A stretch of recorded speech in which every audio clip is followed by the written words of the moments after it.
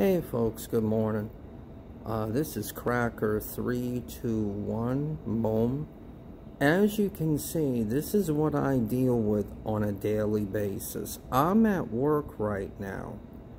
And basically, this is a mentally challenged person.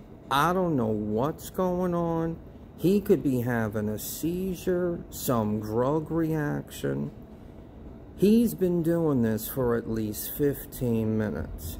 Now, check this out right over here. Uh, you see the police officer there? All she's doing is standing there monitoring people for the TD bike tour today that's taking place through the five boroughs. This guy here is doing all this. Hmm, and she's standing there. Oh, correction. Now she moved a little bit. Uh, uh, yeah. Do you think I feel safe? Mm. They completely ignore what's going on around them. Keep in mind, he's still going at it.